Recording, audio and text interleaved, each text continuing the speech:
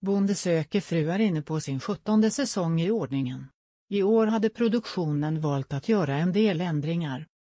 I vanliga fall brukar startskottet för säsongen vara när Linda Lindorff anländer till bönderna med breven och de tillsammans sätter sig för att gå igenom dem.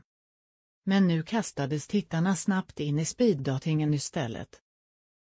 Det är en del som är nytt i år och rätt stora förändringar i första avsnittet.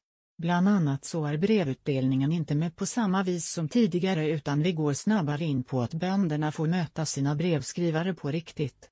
Jag har varit och delat ut breven som vanligt. Jag älskar att göra det för det ger så mycket glädje hos bönderna och så får vi en chans att prata om breven och kolla in dem som skrivit, har Linda skrivit till Hänt. Detta var något som flera av tittarna saknade i säsongsstarten. En del var även upprörda över det faktum att det i början av avsnittet visades ett ihopklipp av sådant som komma skall. En del blev då förvirrade över om de hade missat avsnitt och andra tyckte det var tråkigt att få se det som ska hända längre fram i säsongen. På Nöjeslivets Facebook-sida var det en del som delade med sig av sina tankar efter första avsnittet. Jag var besviken, inte alls som de brukar vara.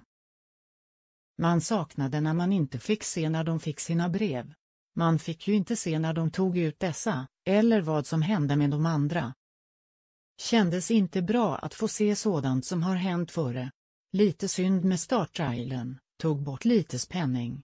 Jag tycker inte om att de hade gjort om programmet. Men trots kritiken verkar det vara många som tycker att bönderna verkar härliga.